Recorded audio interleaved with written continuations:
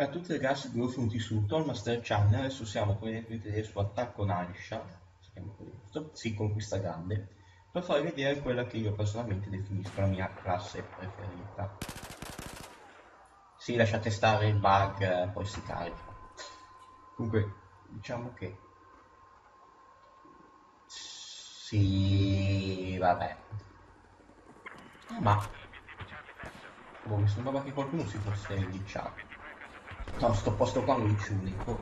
Sì ragazzi non è soltanto colpa della mia play ma probabilmente colpa anche della mia connessione schifosa.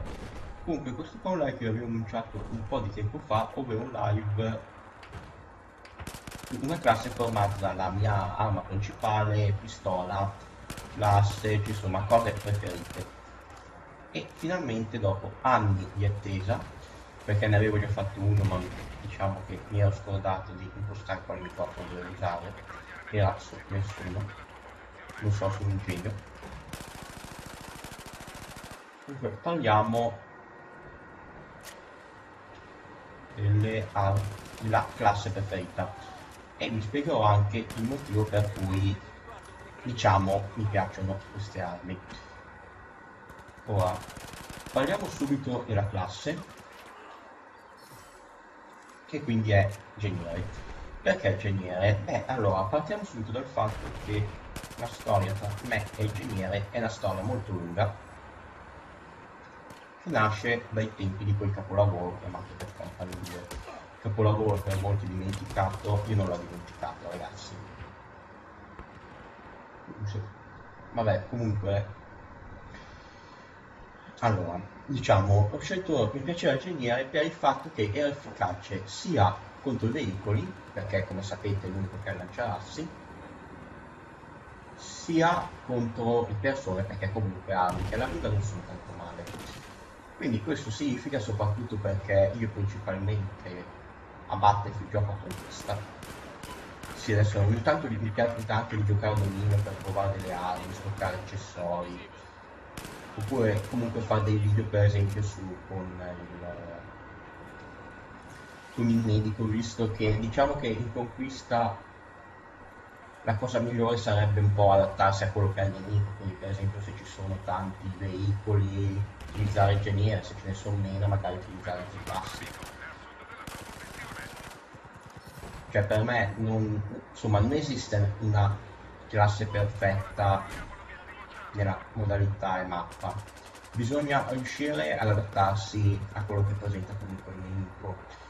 Infatti il mio consiglio ragazzi è quello di cercare di cambiare classe il più possibile. Perché comunque avere accesso a tante armi, comunque avere, una, avere tante classi, vi assicuro che può esservi utile. Ora, lasciando il fatto che sti cosi stiamo formando diciamo qui ingegnere per questo motivo qua. L'arma l'arma è la CVR con mirino coyote vabbè perché mirino coyote è una cosa che è nata in questo battlefield visto che è troppo bello l'arma diciamoci la verità. Però l'arma diciamo che il rapporto tra me e la CVR se si può chiamare rapporto è nato su MV2 perché ragazzi su MV2 era troppo bello, cioè veramente io me lo ricordo ancora, era bellissimo come arma. Poi un'arma che comunque è sempre stata abbastanza forte. Poi seriamente, cioè è un'arma che seppur che diciamo che seppur abbia un raggio di fuoco molto alto, cioè 800, a circa 880 colpi al minuto, sì, sempre vi, vi farò vedere sempre le cose rubate da Cintiq, per chi magari non si fidasse di me o volesse cose un po' più approfondite. Qua ho fatto una cavolata io l'ammetto e quindi mi piace sia come estetica ma soprattutto perché è sempre rimasto troppo forte. Perché come stavo dicendo seppur abbia un raggio di fuoco alto sì ragazzi c'è l'alto. Cioè inutile ci giriamo intorno c'è l'alto. Però cioè rimane comunque abbastanza precisa se la sapete se sapete fare brevi raffiche e controllarlo me la cavate. Per quanto riguarda l'arma secondaria M1911, ragazzi, eh, diciamo che mi sono sempre piaciute le calibro 45, per tanto per farvi un esempio su ah, sul primo Modern Warfare, primo Modern Warfare mi piaceva l'SP calibro 45 seppur durassi poco perché erano i tempi in cui andavo in giro soltanto con arma primaria lanciarazzi perché sì ragazzi se mi trovavo davanti un veicolo cioè un elicottero lo tiravo giù ho se punto dato bene non so mi piaceva anche un po' come stile tutto quindi calibro 45 mi sono sempre piaciuti poi la M111 fra tutte perché comunque sono, ci sono due calibro 45 la compact e la M111 la M111 diciamo l'ho scelta sia perché c'è comunque una storia se così si può dire più lunga visto che è da diciamo che è un'arma forte anche su sempre sul bat che batte su Bad Company 2 questa qua ragazzi li tiro sempre fuori. Non so o l'ho fatto come farò un video dove vi spiegherò bene perché era così bello. E quindi praticamente diciamo per questo. Poi comunque perché sia meno colpi però è molto precisa.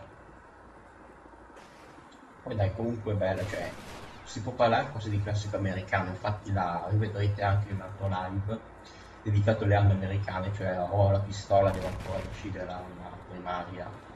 Perché diciamo che le armi, per esempio, cioè le classiche armi americane hanno fatto un po' schifo in questo, questo Battlefield. Ora parliamo di un'altra cosa. Il, per quanto riguarda invece il lancialassi, perché è un'arma, grazie anche se poi viene messo un po' da tutte le parti, ma è, un'arma. Ho scelto le RPG.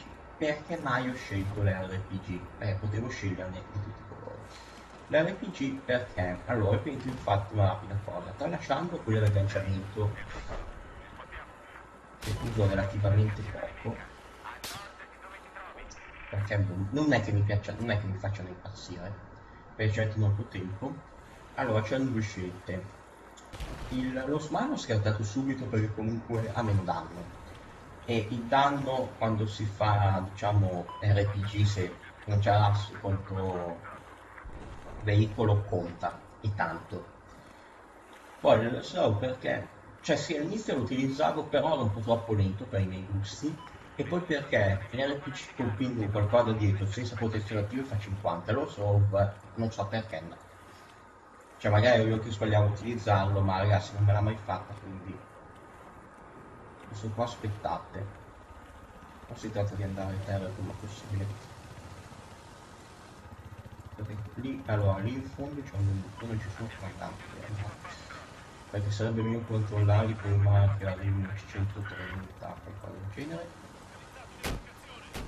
Ma che essere schifoso? Chi se ne frega? Intanto la Vabbè, quello si è schiantato.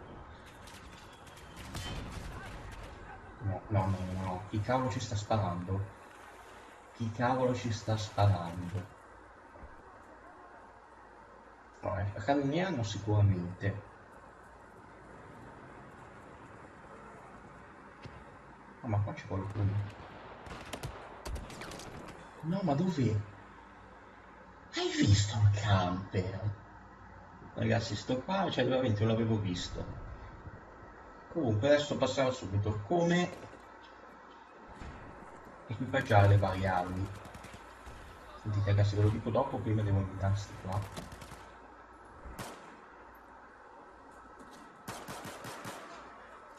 Si ma è decollato cioè vabbè.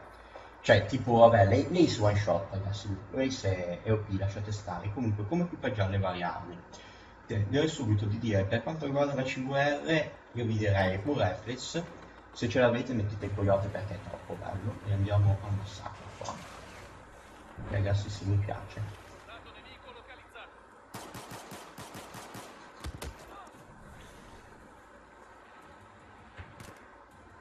tu non hai visto niente eh, infatti mi ha visto eh, sì, eh, sì, sono sarcassi che cavolate. Comunque, per quanto riguarda CVR, tanto poi lo faccio, faccio continuare quando cambia la mappa.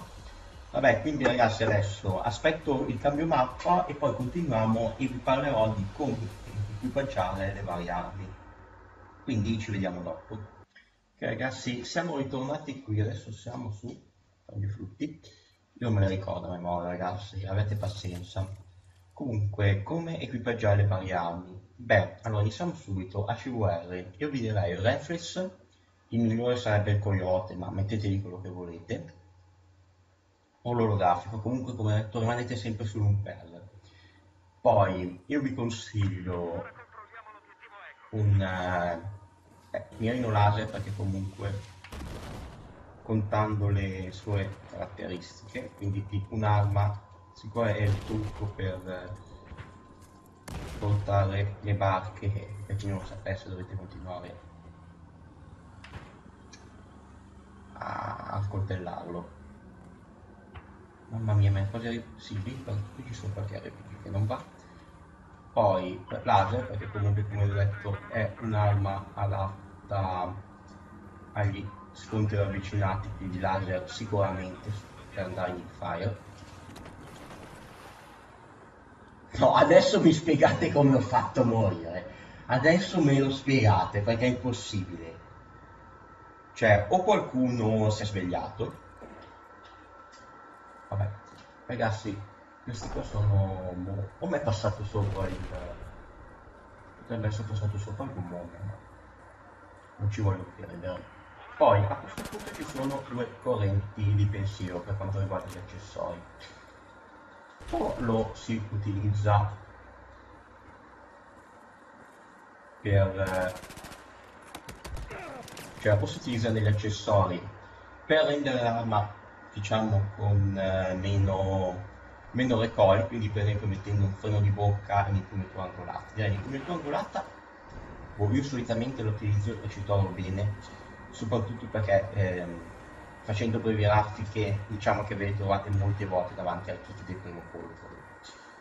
Mentre per quel che riguarda il, l'altra corrente del pensiero sarebbe quella di diciamo, quindi la gente dice il recoil è atto di suono.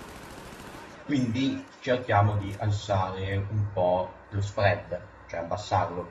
Quindi infilandoci dentro canna angolata e l'impugnatura, sapete, quella la tossa oppure quella lì a bulbo. Se se non ero si si è buggato.